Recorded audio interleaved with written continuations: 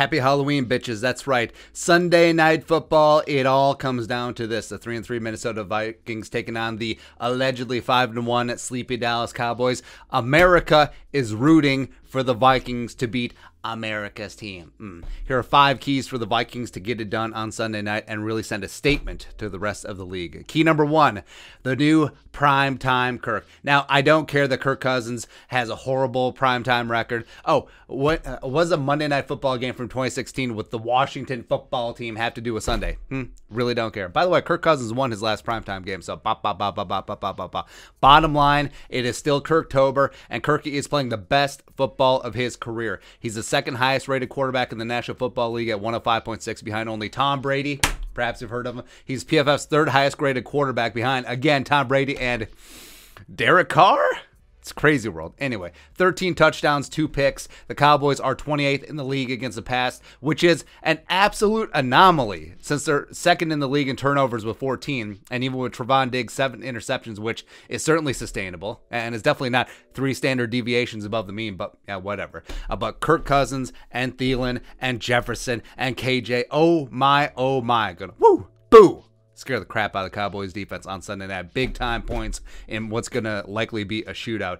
Next up, key number two for the Vikings to get a win on Sunday night dashing through Dallas with Dalvin freaking Cook. That's right. Even though, yeah, it's a little bit early for Christmas, don't care. You already see the Christmas decorations coming out at Michael's because I go to Michael's a lot. But Dalvin's ankle is finally 100% off of the injury report, and you know that he is pissed off to prove all the haters and the losers wrong. He's missed two and a half games this season, put up a buck 49 against the Panthers week six, even with that bum ankle. But two full weeks, that thing is healthy. And the Cowboys, they ain't ready. And the only reason they're fifth in the league against the run is because it's so easy to throw against them. It's uh, very akin to like the 2006 Vikings defense. But I think 33 has a big game in store for Mike. Micah Parsons, for J Ron, J Ron, J Ron, J Ron, J Ron, Curse, Dan Quinn, and company. Woo! Bring it on. Next up, key number three for the Vikings to get a win on Sunday night. Rushman, come out and play. Uh, this is standard every single game. Oh, if you can rush the passer, if you can get heat on their quarterback, if you can uh, get them to make mistakes, oh, you win. It's crazy. And the Cowboys do respect, still have one of the best offensive lines in the National Football League. It's not like it was a couple years ago, but it's still pretty damn good, especially with La'el Collins coming back after his bribery deal. That's such a very Cowboys story. Anyway, and Dak is going to be compromised mobility wise with that calf injury, and the Vikings could and should get a lot of heat on number four. It should be Frank's Red Hot all up in that B, Carolina Reaper style. Woo! Danielle versus Terence Steele, which is a great name for an adult film star, will be the matchup to watch. Also, interior pressure on center Tyler Biadasz, the stupid Badger, will be key as well, whether Pierce plays or not. Armon for Watts, James Lynch, double A gap pressure, a little bit of Kendricks in my life, a little bit of Anthony Barr sacking Dak's ass, plus the two old Trojans and Cowboy teammates Tyron versus Everson is going to be one hell of a fight. Na na na na na na na. Next up, key number four for the Vikings to get a win on Sunday: 12 CDs for one penny. Now. Most will be too young or probably too old for that reference. Yeah, whatever. BMG baby. But CeeDee Lamb, who by the way was drafted ahead of Justin freaking Jefferson, is becoming a problem in the National Football League. 33 catches, 497 yards receiving, four touchdowns this season on 49 targets. Call game against the Patriots week six, and he is branching out of the slot and becoming more of a threat outside the numbers, which he had to do with Michael Gallup having an injury early on in the season. And the Vikings secondary is going to be pressed without Patrick Peterson. Breeland Johnson needs to keep playing well. Cameron Tiny Dancer needs to step up with this opportunity. Finally, stop biting his tongue on this whole thing. Mac in the slot when CeeDee goes there is really going to have to bring it as well. And oh, yeah, that other guy, Amari Cooper, he, he's pretty good. He's pretty good as well. And lastly, key number five for the Vikings to eat a W on Sunday.